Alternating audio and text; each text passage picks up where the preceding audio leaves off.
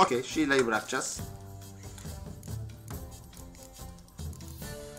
Okey Vezemir kötü bir kart değil belki ama iyi bir kart da değil.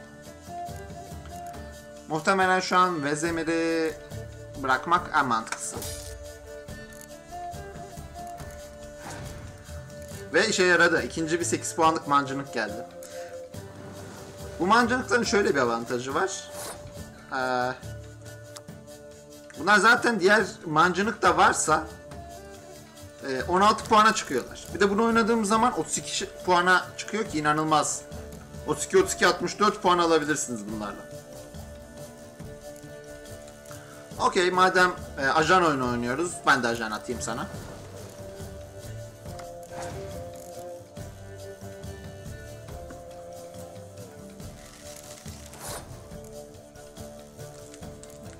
Okey belki ikinci bir mavi şeritli gelseydi güzel olurdu ama ha,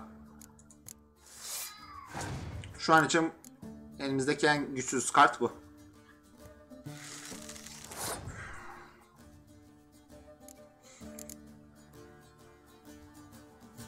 Okey şu an deste o kadar güçlü ki e, bunları oynayacak hale geldik. Normalde ben güçlü sinerji kartlarını sona saklamayı tercih ederim ama e, burada değeceğini düşünüyorum. Ki şansıma e, bu bölümü güçlendirmeyi tercih ettim. E, muhtemelen o yüzden burayı e, buzlamayacak. O yüzden biraz daha güvenerek oynayabilirim. Gerçi Scorch'a karşı hala zayıfım ama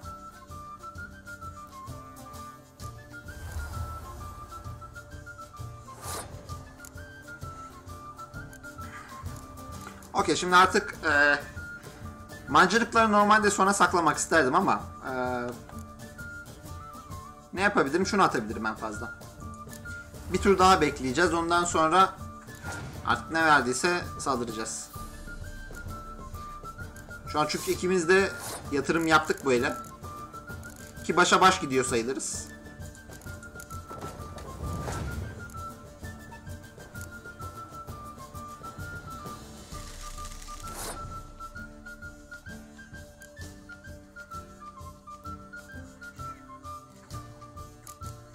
Okey gene bununla devam.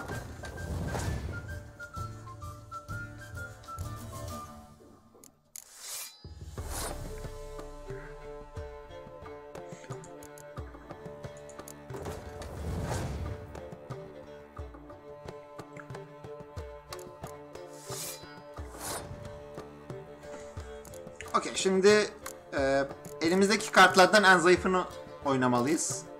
O da bu.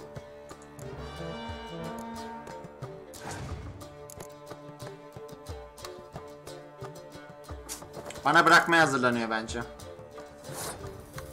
3 kart kaldı.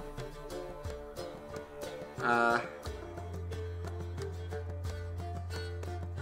3 kart kaldı. O yüzden şunu atmakta çekinmiyorum.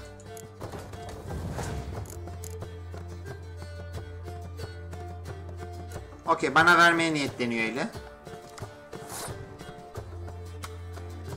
Bu haliyle bırakacağım. Bu haliyle ona bırakacağım. Okey. 99'u geçemez. Arada çok fazla fark varsa bir yerden sonra çünkü pas geçmeyi düşünmeniz lazım. Okey kart üstünlüğünü ele geçirdi maalesef. Ama biz de bunu aldık.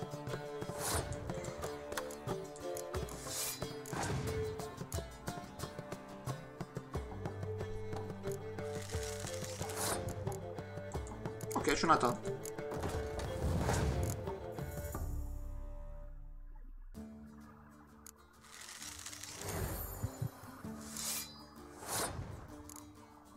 Benim şu an hala pas geçme seçeneğim var. Bir eli bırakabilirim.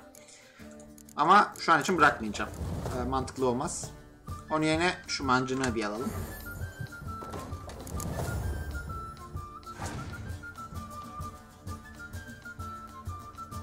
Oo.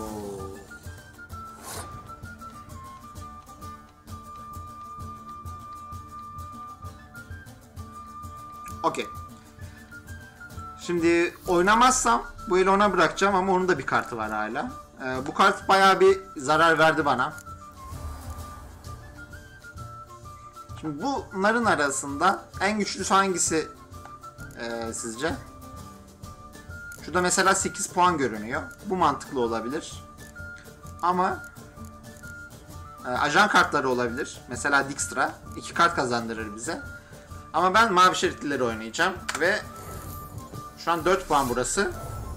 Şimdi 16 puan. 12 puanlık bir kart oynamış oldu. Şimdi ne oynayacağına bağlı. Ee, arada 15 puan fark var. Ama elinde bir şey yokmuş. Hoş geldin Karax. Ya green screen kullanıyorum da bugün nedense bir sebepten e, green screen'de bir sorun yaşıyorum.